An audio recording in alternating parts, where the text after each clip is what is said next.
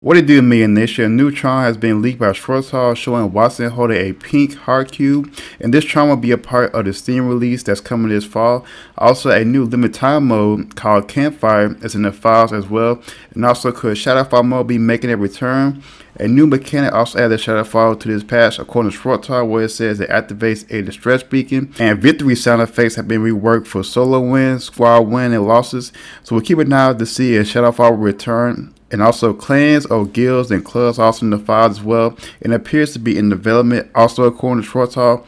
Also, you ever checked out the latest hidden crypto lore in the bunker by Cage, where he gets a hidden message from Mala. So here it is for you guys to see. An extra pair of eyes.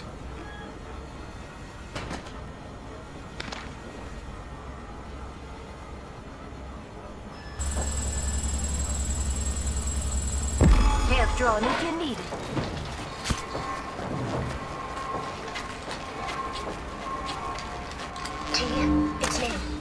I'm using the drone's encryption protocol. Only you can hear me.